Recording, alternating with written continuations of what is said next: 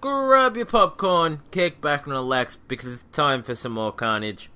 In today's video, we actually have some, we actually have a harder version of Paradox. Um, and it's unboosted, you guys can see the stats there. This one was done by a task force member of mine that I'm in right now called Diesel27. Um, he had a strategy on this that I was not expecting. Now, the building health, I have actually checked out the barrages and artilleries. I think this shock launcher, although I'm not sure of its level, had little over 30,000 health. Um, but just in case, um, just to be like 100% certain that you guys are getting all the information here, that statue has 126% building health. Now, normally I don't tell you guys the ice because it doesn't really matter all that much. Um, you got you you'll pretty much know that what the ice is when you face it yourself because the layout's usually the difficulty level it usually has the same amount of ice anyway. But because he's barraging stuff I just wanted to give you guys that information. So he's dropping his tanks. You guys know um, pretty much everything at this point. He's just gonna flare straight up the top. Uh, so he dropped two barrages on the left one I believe then those artilleries, and he dropped one barrage on the one on the far right there.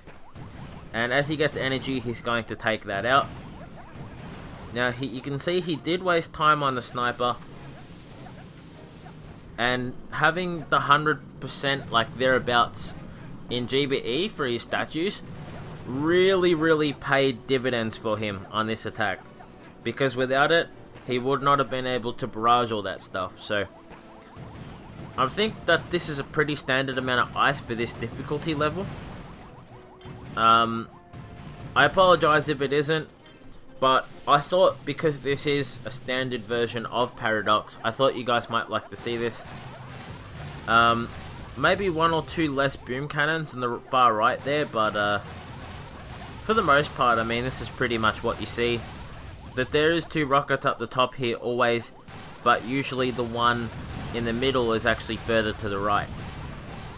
Um, so he's got up to the top quite nicely, and he is wasting a lot more time than what I would have thought he would have.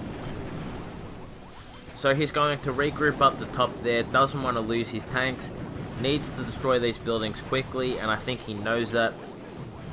Uh, dropping a shock, bo shock bomb there not really sure if that that's purpose a great deal because those mortars wouldn't have done much to him anyway.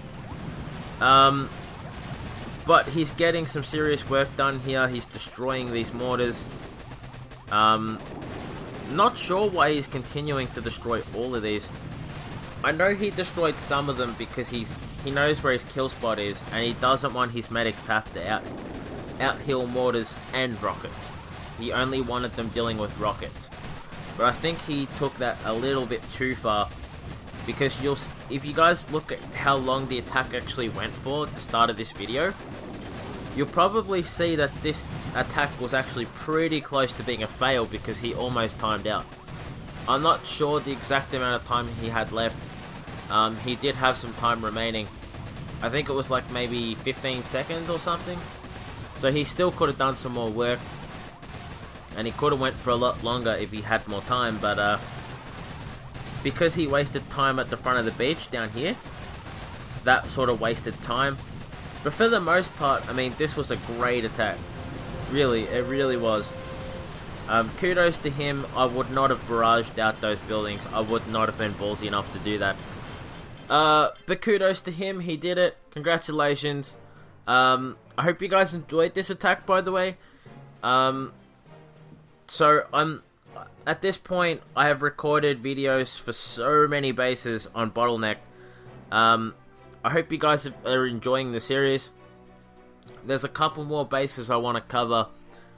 Low point, if it ever spawns in our operations, I'll definitely be trying that. I want to get a solo on it. I have seen it done before, I, but I lost the footage originally.